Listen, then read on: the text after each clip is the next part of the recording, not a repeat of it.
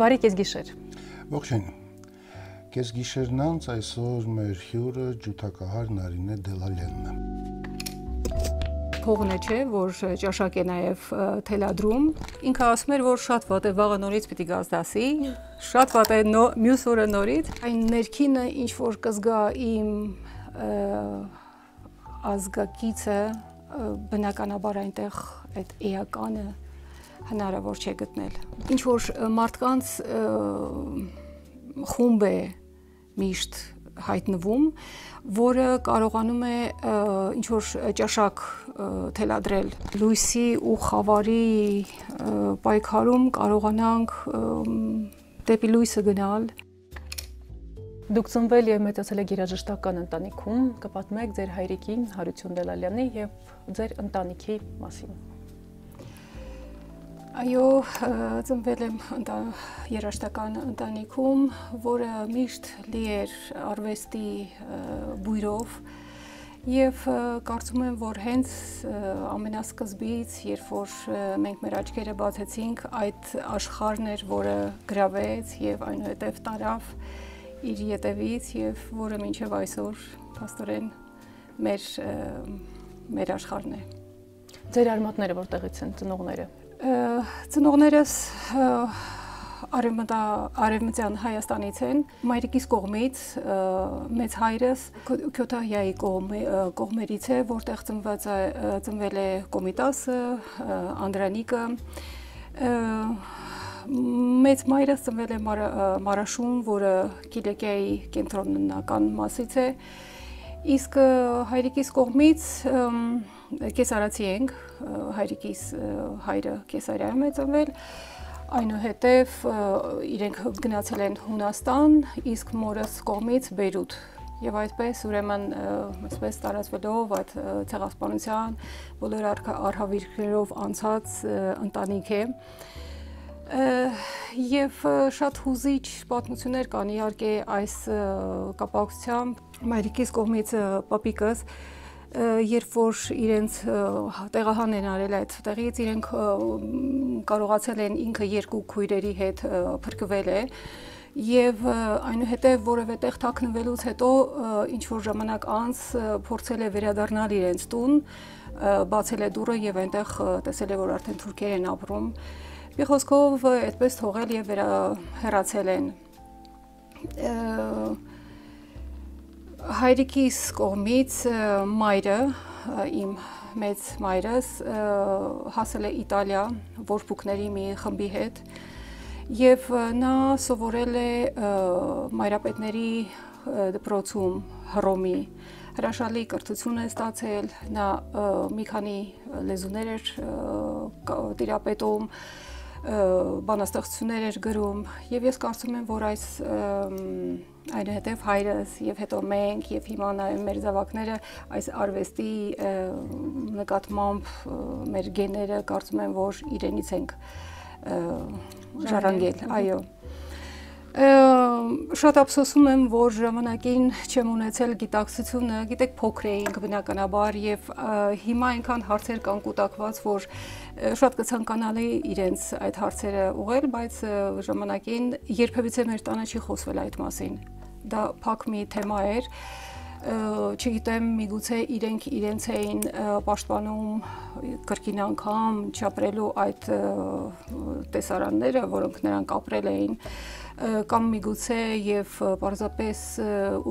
ցանկանում էին մեր մեջ չներարկել այն ցավը, այն մի խոսքով երբևիցե մեր մոտ այդ խոսակցությունները չի եղել, բայց ես հիշում եմ, որ իրենք շատ այդ մեծերը, մեր papերը շատ դյուրագրգիռ էին։ Եվ մենք փոքրիկ էինք, օրինակ հիշում եմ Բաքում խաղալիս, բավական էր մի փոքրիկ մի բան լիներ եւ իրենք այդ մեծերը շատ բարկանում էին եւ մենք էլ փոքր չէինք հասկանում այդ ամենը եւ և Հետո երևի ես ինքս հասկացա, որ դա Աստված գիտի ինչ էր տեղի ունենում իրենց հոգիներում, ինչ են ապրել եւ այդ դուրագրգռությունը շուտ բռնկվելը միգուցե եւ հենց իրենց ապրած այդ անցած ճանապարհի հետևանքներն էին իհարկե։ Ինչպես դուք հայտնվեցիք Պորտուգալիայում Շատ գիտեք, երևի թե ամեն մարդ ունի իր անցնելու ճանապարհը, երբևիցե երբևիցե մտքովս չէր կարող անցնել, որ մի օր կարող եմ հայտնվել Պորտուգալիայում, կարող էինք չէ մտածել որևէ տեղ, բայց երբևիցե ոչ Պորտուգալիայում, բայց այնպես ստացվեց, որ Պորտուգալիայից եկան այստեղ երաժիշտներ փնտրելու եւ այդ ժամանակ դեռ իմ ամուսինը չէր Լևոն Մուրադյանը, թավջութակահար, ով նվագեց այդ մրցույթում եւ իրեն հրավիրեցին աշխատանքի Պորտուգալիայի Գուլբենկյան հիմնադրամում, որը ունի նվագախումբ, սիմֆոնիկ նվագախումբ եւ նա այնտեղ ուրեմն հրավիրվեց աշխատանքի Եվ մինչև այսօր աշխատում է։ Եվ այո, մինչև այսօր աշխատում է, դասավանդում։ Ես նույնպես այդ ժամանակ մենք պիտի արդեն ամուսնանում էինք Եվ այդպես ուրեմն ես նույնպես հայտնվեցի իր հետ Պորտուգալիայում, այնուհետև ինքս էլ մասնակցեցի արդեն տեղում մրցույթի եւ մինչեւ օրս նույնպես աշխատում եմ Պորտուգալիայի ազգային սիմֆոնիկ նվագախումբում, որը նաև օպերային թատրոնի դերն է մեր նվագախումբն է նույնպես անում, այսինքն երկու ֆունկցիոնալ նվագախումբ է։ Իսկ ինչպես ամուսնացաք եւ ոնց հանդիպեցիք ձեր ամուսնուն։ Ահա, դա մի ուրիշ պատմություն է։ Լևոնը Մոսկվայում էր սովորում, այնուհետև ավարտելուց հետո եկավ Երևան, դասավանդում էր կոնսերվատորիայում եւ ես վերջին կուրսում հայտնվեցի իր կուրս իր դասարանում։ Եվ այդպես ստացվեց, որ ինքը ասում էր, որ շատ վատ է վաղը նորից պիտի գաս դասի, շատ վատ է մյուս օրը նորից Եվ այդպես այդպես ստացվեց, որ այո, իհարկե այդ շատ վատ են, այսինքն կրկին հանդիպելու, միասին լինելու, բնականաբար, չնայած մենք իհարկե արդեն դպրոցում իհարկե կա տարիքային տարբերություն, բայց նույն դպրոցում էինք սովորել, ի վերջո մեր ընտանիքները հերվից, բայց արդեն իրար ճանաչում էին, Հայրիկ Մուրադյանը, Հարություն Դելալյանը, այդպես այդ երաշտական աշխարհներ եւ այդպես ստացվեց։ Ինչպեսին էր Հայրիկ Մուրադյանը։ Կպատմեք կիսել ձեր հիշողությունները։ Հայրիկ Մուրադյանը, այո, Հայրիկ Մուրադյանը մեծ մարդ էր։ Արաքինի ազնվական եւ իր գործով արած գործի ժառանգությամբ կարծում եմ որ մեր մեծ մեծ հիշարժան մարդկանցից մեկն է, որը կարողացավ մի ուղու ժամանակի ուղությունը փոխել եւ տանել իր հետևից հրաշալի հասկանալով ազգագրական մշակույթի կարևորությունը, այսինքն ազգը ինչով է, չէ, ներկայանում աշխարհին նախ եւ առաջ ինքնությամբ։ Եվ ինքը հրաշալի հասկանում էր դա եւ չնայած որ 60-ական թվականներին այդ ազգագրական մշակույթը ընդհանրապես լավ չէր դիտվում, շատ ցանկալի չէր նրա ռոպագանդումը, բայց մարդ, որը հասկանում է եւ գիտակցում է, որ ազգը պիտի ունենա իր դեմքը, նա ամենուր երգում էր միգուցե սկզբում փոքրիկ խմբերում մտերիմ մարդկանց համար այնուհետև ավելի մեծ եւ ի վերջո ես կարծում եմ որ 65 թվականի երբ Եղեռնի 50 տարիներ լրանում մարդկանց այդ պորտկումը, որ պիտի այդ մասին խոսվեր եւ հիշվեր, կարծում եմ, որ Հայրիկ Մուրադյանի դերը այդ հարցում շատ մեծ է, որովհետեւ այդ երկերը մարդկանց մեջ արտնացնում էին կարոտը դեպի երգիր, հիշեցնում էին իրենց արմատները, որտեղից են գալիս, ինչ է իրենց ինքնությունը, եւ այդ իմաստով իհարկե եւ այնուհետեւ իր ամբողջ գործունեությունը մինչեւ կյանքի վերջ, մինչեւ 95 տարեկան, փաստորեն նա եղավ այն հիմնասյուներից մեկը, որը իր շուրջը հավաքեց,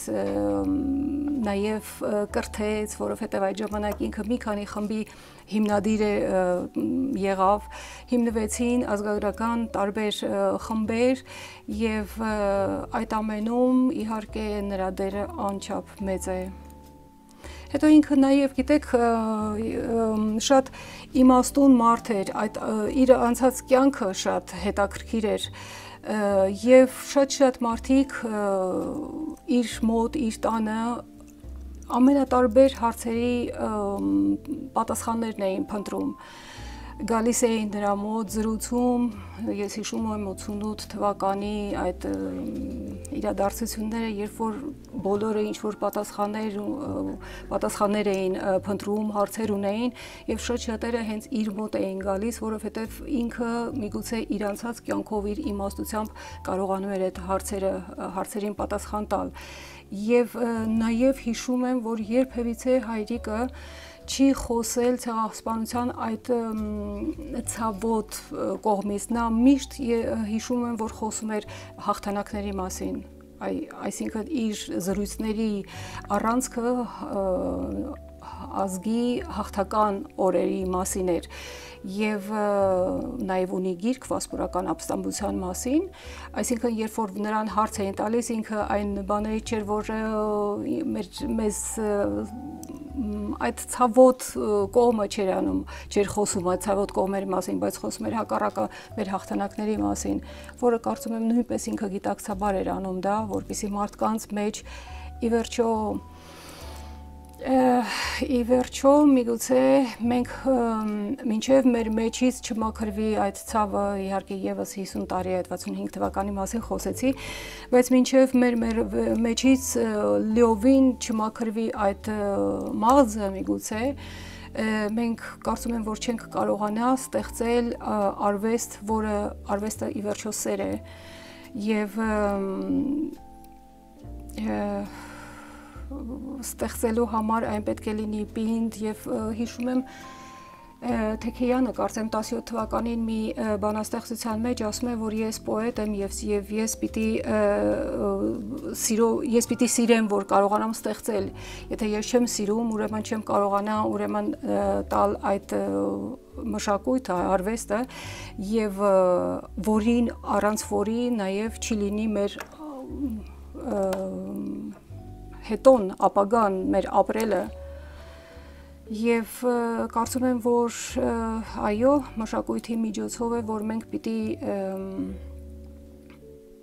կարողանանք մեր պատասխանները տալ մեր ամբողջ այդ պատմական անցյալին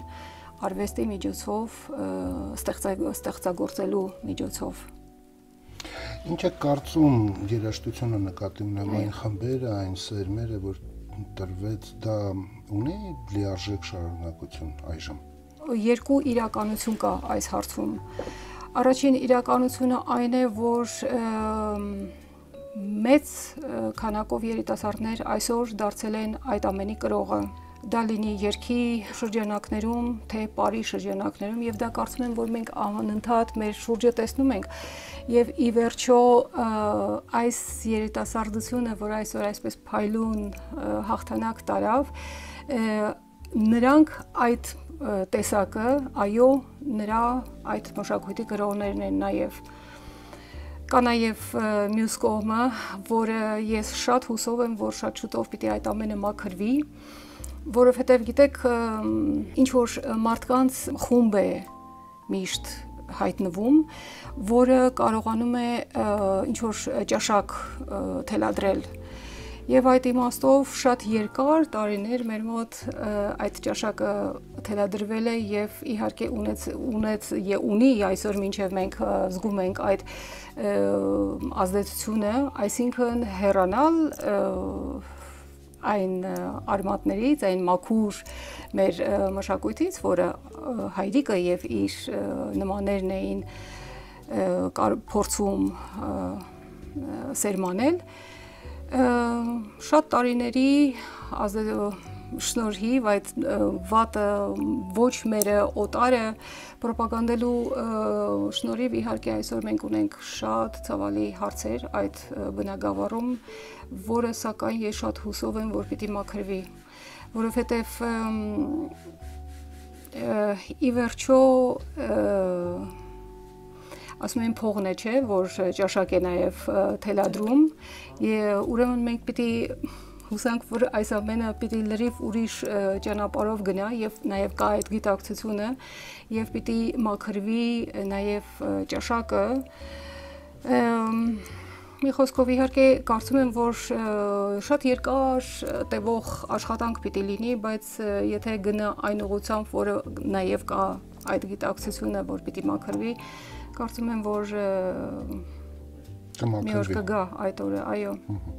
Դուք Պորտուգալիայում եք շուրջ 20 տարի։ Հայկական միջավայրը ինչպիսին է։ 20-ից ավել, 20-ից ավել։ Շատ ավել հայկական միջավայր ընդհանրապես չկա, չկա, այո, շատ քիչ է հայությունը, ընդհանրապես համայնք որպես այդպեսին այնտեղ չկա, բայց կան կա Գյուլբենկյան հիմնադրամը, որը վերջին տարիներին բավականին ակտիվորեն անդրադառնում է հայկական մշակույթին եւ մենք ամեն տարի այնտեղ հնարավորություն ունենք մեր մշակույթը ուրեմն ներկայացնելու, որը պիտի ասեմ, որ չափազանց մեծ հետաքրքրություն է առաջացնում։ Գիտեք, որովհետեւ ի վերջո պիտի անկեղծորեն ասենք, որ մեր մշակույթը շատ ճանաչում ունի Եվ այդ իմաստով իհարկե այնքան անալիքներ կան եւ ամեն մի հնարավորություն մենք փորձում ենք օգտագործել եւ եւ բարեբախտաբար այո ես տեսնում եմ, որ շատ մեծ հետաքրքրություն կա հատկապես հիշում եմ առաջին տարին, երբ որ արվեց այդ եղավ հայկական մշակույթի շաբաթ եւ մոտ 16 միջոցառում մենք ուրեմն կարողացանք ներկայացնել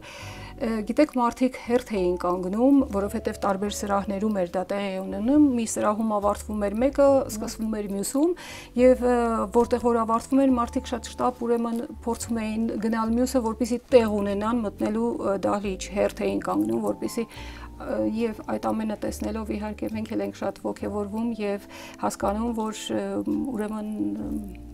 իսկապես անելիքներ շատ կան։ Գիտեք, հատկապես էթնիկ նաև մշակույթն է ընդհանրապես ոչ միայն հայկականի մասին է խոսքը, էթնիկ մշակույթն է մարդկանց մոտ շատ մեծ հետաքրքրություն առաջացնում։ Այդ իմաստով կարող եմ ասել, որ դասական երաժշտությունը եւ էթնիկը կարող ենք համարել համազոր, որովհետեւ հետաքրքրությունը իսկապես կարծում եմ, որ նույն նույն հարթության վրա է։ Հաճախ եք լինում Հայաստանում տարբեր առիթներով, տարբեր ծրագրերով։ Վերադառնալու միտք ունեք։ Գիտեք, վերադառնալու միշտ միտքը միշտ իմ մոտ կա, բայց այս տարիներին ես փորձում եմ այդ Գիտեք, կան տեխնիկական հարցեր պարզապես, որոնք որ հնարավոր չէ, այսինքն հիմա որոշեմ եւ կարողանամ գնալ։ Նախ ասեմ, որ հենց թեկուզ իմ աղջկա պատճառով, որը դեռ դպրոցում է սովորում եւ հնարավոր չէ, այսինքն իրեն այնտեղից վերցնել եւ տեղափոխել մի ամբողջ մի այլ իրականության մեջ, կրթական համակարգը նկատի ունեմ եւ ընդհանրապես Միգուցե որոշ մի քանի տարի հետո, երբ որ ինքը նույնպես դառնա ինքնուրույն, որթիս արդեն ինքնուրույն է, միգուցե այդ ժամանակ ավելի հնարավոր կլինի։ Բայց գիտեք, մյուս կողմից ես այս ամբողջ տարիներին, ինչպես ասացիք, անընդհատ փորձել եմ, անընդհատ այստեղ եմ եղել եւ ոչ մի կերպ չեմ ինձ համարում հերացած կամ հերու, որովհետև իմ բոլոր անելիքները, գործերը կարծես թե անցնում են Հայաստանով։ Եվ ես այդ իմաստով ինձ շատ լավ եմ զգում, նաև լիարժեք եմ զգում, երբ որ այստեղ եմ։ 3-4 ժամ քնելը ինձ լրիվ բավարար է լինում, երբ որ ես Հայաստանում եմ եւ որովհետեւ գիտեմ, որ այնքան շատ բան կա անելու եւ ամեն անգամ մի ինչ որ առիթով ես անպայման գոնե տարին, գոնե 2-3 անգամ վերադառնում եմ։ Անելու բաներ շատ-շատ կան։ Եվ գիտեք, կարծեմ Կոստան Զայանն էր ասում, որ երբ որ ինքն էլ վերադարձավ հայրենիք, ասում էր, որ ես եկել եւ կանգնել եմ իմ էության արչեւ։ Այ հենց դա է։ Այսինքն մենք առի որևէ պատճառ, որ ասեմ, մենք այնտեղ ինչ որ մի բան կա, որը չունենք կամ ինչ որ մի բան, որը պակասում է, ոչ, ամեն ամեն ինչ ինչ որ անհրաժեշտ է մարդուն, այնտեղ կա, բայց չկա ամենակարևորը ի վերջո օտարությունը, օտարը մենք իհարկե շփվում ենք մարդկանց հետ, ընկերներ եւ այլն, բայց այդ ամենը արտաքին է։ Իսկ այն ներքինը ինչ որ կզգա իմ ազգակիցը բնականաբար այնտեղ այդ էականը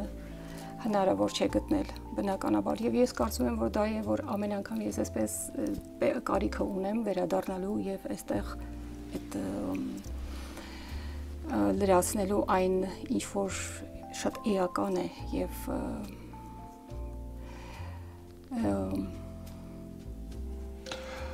համաշխարային երաշտական Օլիմպոսում հայ կոմպոզիտորը դեռ Արամ Խաչատրյանն է, թե նոր անուններ էլ կան։ Որպես երևույթ պիտի ասեմ, որ անգամ անգամ Արամ Խաչատրյանը շատ հազվադեպ է կատարվում։ Եվ ես չգիտեմ պատճառները, եթե պատճառները ընդհանրապես ֆինանսական այդ հեղինակային իրավունքների հետ կապված խնդիր է, թե չգիտեմ, չեմ կարող ասել, իհարկե հատուկենտ հնչում են հայ կոմպոզիտորներ, բայց դա որպես այսպես համաշխարային այդ հարթակում որպես իրողություն կայա, որը կայանում է անընդհատ, իհարկե դեռ նման բան չկա միգուցե կոմիտասը, բայց անգամ կոմիտասին դեռ մարդիկ շատ փոքր մի ինչ որ խումբ կա մարդկանց, որոնք միգուցե ճանաչում են կոմիտասին իհարկե կան մարդիկ, որոնք նաև ճանաչում են ընդհանուր մշակույթը, գիտեն Փարաջանով, գիտեն Սարյան, բայց որպես այդպեսին, այսինքն հայտնի մշակույթ դեռ շատ շատ շատ ճանապարհ ունենք անցնելու, ծանոթացնելու առումով իհարկե։ Մենք ինչ կարող ենք արտահանել Հայաստանից, sense մշակութային իմաստով։ Ինչն է մրցունակ։ Գիտեք, այս պահին կարծում եմ, որ էթնիկ երաժշտությունը էթնիկ մակրամակուր երաժշտությունը, որը վստահորեն եւ այդ փաստին ես ներկա եմ եղել մի մի քանի անգամ եւ տեսել եմ մարդկանց հետաքրքրությունը այդ մշակույթի նկատմամբ բացառիկ այսինքն բան է հետաքրքրություն է առաջացնում մարդկանց մոտ եւ իրենք իսկապես դա գնահատում են ուրիշ ինչ կարող ենք արտահանել կարծում եմ որ ունենք անհատ կատարողներ իհարկե, որոնք շատ ցավալիորեն, գիտեք, որև որոշ տարիքից հետո այնուհետև պիտի ուրեմն դուրս գան եւ իրենց այդ զարգացումը, իրենց գործունեությունը, նաեւ կրթական իմաստով պիտի տեղի ունենա դրսում։ Ցավալիորեն մենք դեռ չունենք այն մտնոլորտը, որտեղ որ այդ տաղանդավոր երեխաներ ունենք, չէ, ռեսուրսը, հրաշալի ռեսուրս կա, բայց ինչ որ մի բանից հետո, ինչ որ մակարդակի հասնելուց հետո նրանք արդեն տեղ չունեն մեր մոտ եւ մեզ պակասում է այդ մտնոլորտը ստեղծելու, որտեղ որ նրանք կարողանան այստեղ մեր մոտ շարունակել այդ կրթությունը եւ հետո որովհետեւ ինչպես ասում եմ հրաշալի երեխաներ կան օրինակ հենց վերջերս երկու ջութակահար աղջիկներ ի հայտ եկան Դիանան եւ չեմ հիշում անունը 18 տարեկան աղջիկներ են եւ փառահեղ, այսինքն իմ գոլեգաները նույնպես, որը Դիանան մասնակցեց միջազգային մրցույթին եւ առաջին տեղը վերցրեց եւ բնականաբար մարդիկ լսում են, հետաքրում եւ իսկապես հրաշալի հրաշալի տաղանդով լեցուն երաժիշտներ են, Պարզապես փաստորեն նորից ստացվում է այնպես, որ իրենք պիտի նորից դուրս գան, նորից պիտի դրսում շարունակեն իրենց կրթությունը եւ այնուհետեւ դրսում կարողանան իրենց գործունեությունը շարունակվել, շարունակել։ Հրաշալի պիտի լինի, որ մենք կարողանանք մի օր այդ ամենը մեր մոտ, մենք կարողանանք գնահատանքը տալ դրա եւ կարողանանք գնահատել մեր իսկական արժեքները եւ ըստ դրա որպիսի նրանք կարողանան այստեղ եւ ոչ միայն արվեստի բնագավառում, թեկուզ գիտության բնագավառում պիտի ունենանք այդ կարևորություն տալու ինձ թվում է այ հենց դա է մեր մոտ պակասում, որ մենք կարևորություն չենք տալիս մեր ունեցած ռեսուրսներին։ Արդյոք մի այդպիսի կարևորության ձեռնարկ չէր համահայկական սիմֆոնիկ նվագախումբը։ Համահայկականը ես համարում եմ հրաշալի ձեռնարկ, որովհետև նախ եւ առաջ դա մեր իրականությունն է, հենց այդ մասին ինչ որ հենց նոր խոսեցինք, սփռված աշխարհով, հրաշալի ուժեր եւ ամեն մեկը այսպես մեկը այստեղ, մյուսը մի ուրիշ երկրում եւ այս նվագախմբի գաղափարը կարծում եմ որ հիանալի գաղափար է մեր միասնությունը ինքներս զգալու եւ տեսնելու եւ գնահատելու, արժևորելու որ ի վերջո կա այս ուժը, որը ամբողջ աշխարհին փաստորեն մենք տալիս ենք մեր ունեցած տաղանդը ի վերջո, բայց դա անում է ուրիշ երկրներում։ Իսկ սա հրաշալի մի միջոցառում է եւ գիտեք նաեւ մեր համար, նաեւ նրանք ովքեր որ այսօր այստեղ են, գիտեք հենց այս օրերին մենք համերգներ ունենք, մեկը արդեն տեղի ունեցավ Շուշիում մայիսի 9-ին Շուշիի ազատագրման այդ օրվան նվիրված եւ բացառիկ տոնական տրամադրություն է ընդհանրապես բոլորի մոտ, որովհետեւ բոլորս կարիքը ունենք որ գիտեք բացառիկ մի բան է, երբ որ ես ինքս տարիներով աշխատել եմ փաստորեն իմ գործընկերները օտար ամենատարբեր ազգերից են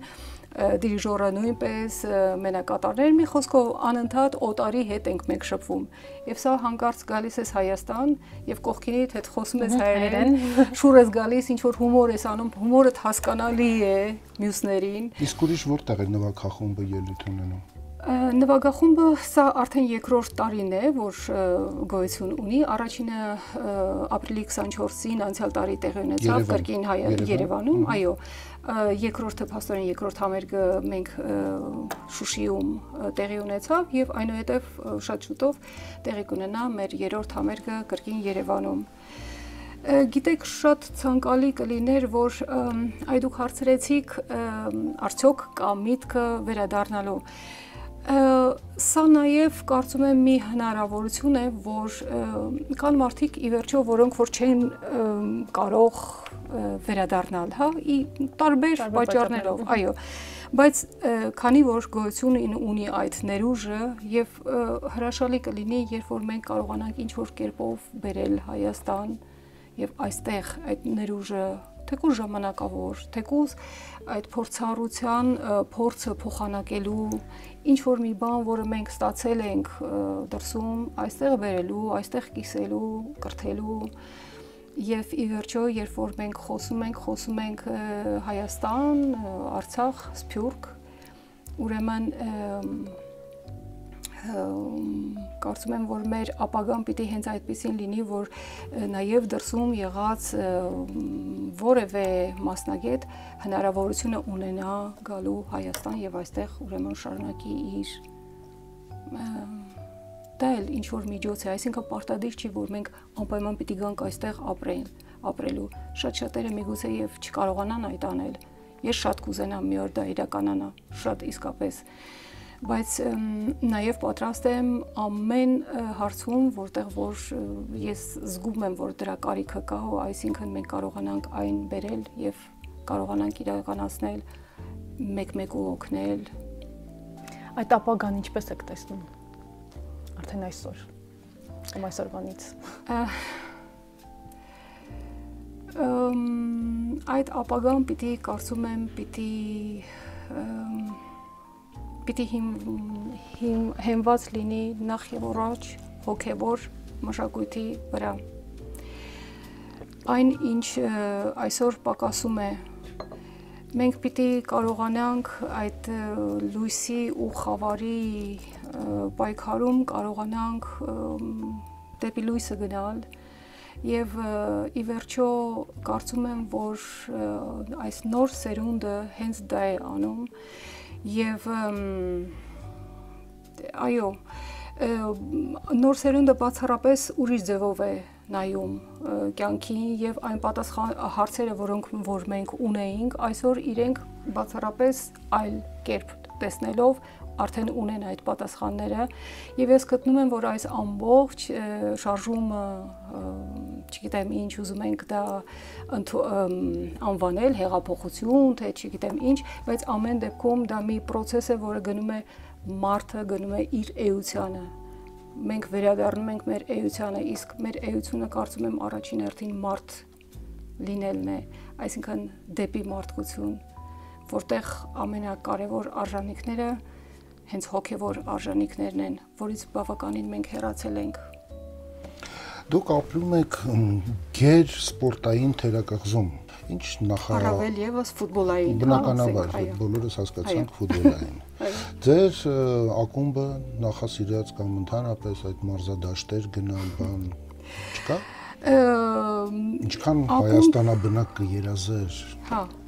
ասեմ, ուրեմն ակումբ եսի այդպեսին որպես իմ ակումբ, ես իհարկե չունեմ, բայց այնպես է ստացվել, որ իմ բարեկամներից մեկը Բենֆիկա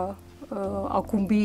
անդամ է եւ ինքը իրավունք ունի ամեն խաղերին ուրեմն ներկա լինել եւ կարող է նաեւ ամեն անգամ ինչ որ մեկին տանել իր հետ։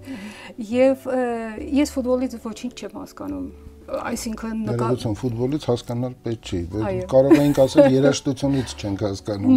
Չէ, այսինքն թե ինչ է այնտեղ տեղի ունենում, ով սխալվեց, ինչ արեց, ինչու համար, մի խոսքով ես դա վազում են մեկը մյուսի հետ։ Այո, հենց այդպես էլ ես եմ անցալում դա, բայց գիտեք ինչն է շատ հետաքրքիր, ես շատ սիրում եմ ֆուտբոլը դիտել հենց մարզադաշտում, այո մարզադաշտում, որովհետև այնտեղ դա ինձ համար թաթերական ինչ որ մի ներկայացում է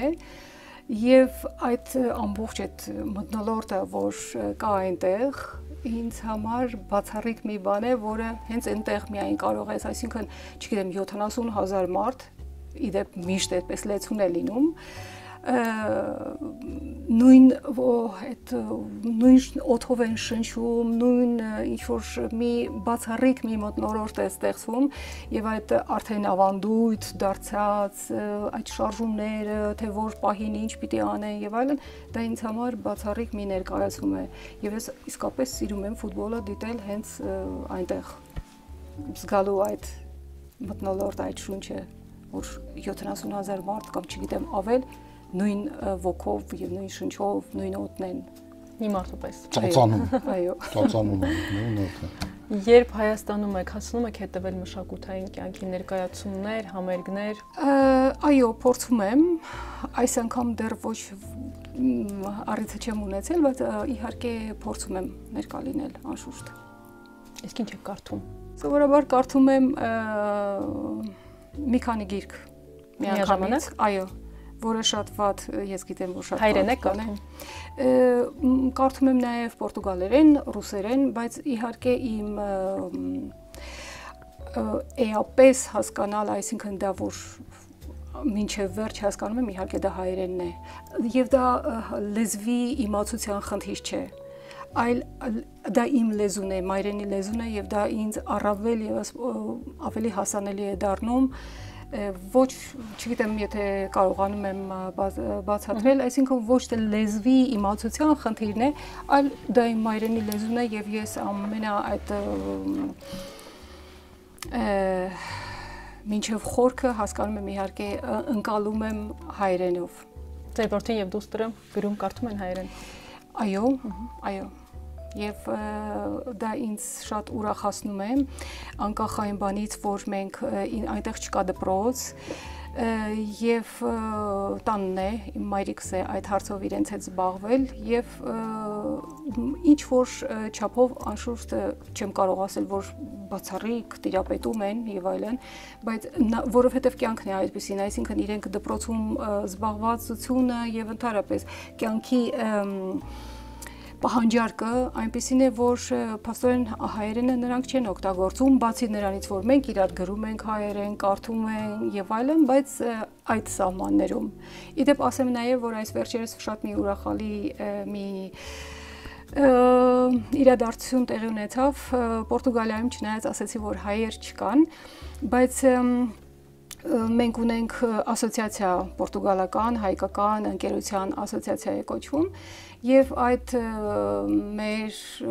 փոքր ժամանակ է որ դա գոյություն ունի, բայց կարողացանք մի հրաշալի բան իրականացնել Լիսաբոնի համալսարանում այսուհետև պիտի կարողանան սովորել նաև հայոց լեզու կուրս մենք կարողացանք այդպեսին բացել եւ ցանկացողները, ուսանողները առավել եւս եւ նաև միգուցե դրսից Դա պարտադիր է թե ուղղակի կարող են լրացուցիչ կրեդիտի համար վերցնել։ Լրացուցիչ, այո, լրացուցիչ լեզվակ։ Ունենք այնտեղ մի երիտասարդ բանը ողջավորությունով ապրող շատ ողջավորված եւ այդ ամենը գիտակցող մի աղջիկ Հայաստանից, այո, որ ինքը կսկսի այդ կուրսերի ուրեմն Դասավանդի լեզվի ուսուցում է թե ուսուցում գրականության ուսուցում լեզվի ուսուցում բայց իհարկե նպատակը նաև գրականություն ընդհանուր մշակույթին նաև մենք պիտի անընդհատ փորձենք կարողանալ ինչ որ ձևով լեզվին զուգահեռ նաև տանել այդ մշակութային գրականություն եւ այլն եւ սա բացառիկ մի բան է որովհետեւ կարծում եմ որ նաև թարգմանչական այդ բնագավառում իհարկե այս մի քանի տարի հետո հնարավոր է որ հնարավոր լինի որոշ բաներ ուրեմն թարգմանել եւ իրենց կողմից եւ նաեւ մեր կողմից մի խոսքով կարծում եմ որ շատ կարևոր մի քանի ամիս տևող բանակցություններից հետո մենք կարողացանք իրականացնել եւ սեպտեմբերից պիտի սկսվի այդ կուրսերի հրաշալի ընթացքը ձեզ հոգեհարազատ հայոց լեզուն ընկալման ժամանակակից պոեզիայի Դավիթ Հովանեսի միջոցով գուցե մեկ անգամ եւս անցնելու ճանապարհը այո մեր հյուրն է փոխանցում ձեզ եւ հրաշալի է ներկայացրեք ձեր գիրքը Ես ասեմ, որ մեծ բախտ եմ համարում, որ փաստորեն մեր վերջին հյուրից հետո ես եմ եղել եւ այս գիրքը ինձ պիտի հասնի Ես հիշում եմ Դավիթ Հովանեսին, կարծեմ իր վերջին հարցազրույցներից մեկն էր, ինքը շատ վրթովված էր, նեղացած էր, նեղացած սրտով էր։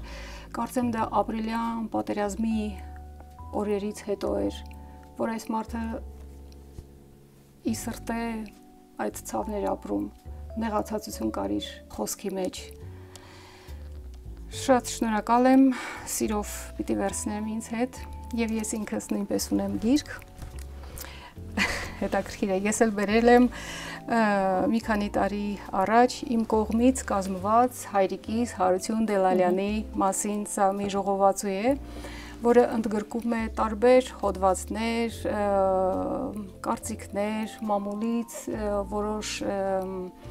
հրապարակումներ հրապարակումներ իր ստեղծագործությունների մասին երկու լեզվով, հայերեն եւ անգլերեն, նաեւ այստեղ կա ձայնասկավառակ իր որոշ ստեղծագործությունների ուրեմն ձայնագրությամբ։ Ես չգիտեմ ով կլինի հաջորդ հյուրը, բայց հուսամ, որ նույնպես հետաքրքիր կլինի։ Խնդրեմ։ Շնորհակալություն։ Այսպիսին էր ջութակահար Նարինե Դելալյանը կես գիշերնանց։ Բարի գիշեր։ Կհանդիպենք։